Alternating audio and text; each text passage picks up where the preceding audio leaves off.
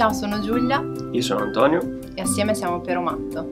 Siamo nella nostra bottega Santa Sofia, una stamperia d'arte tessile che porta avanti un'antica tradizione romagnola, la stampa ruggine. Di questa tradizione portiamo avanti soprattutto quello che più ci affascina, che è l'utilizzo di tessuti e colori naturali, come la ruggine, e il fatto che si può fare tutto con le nostre mani.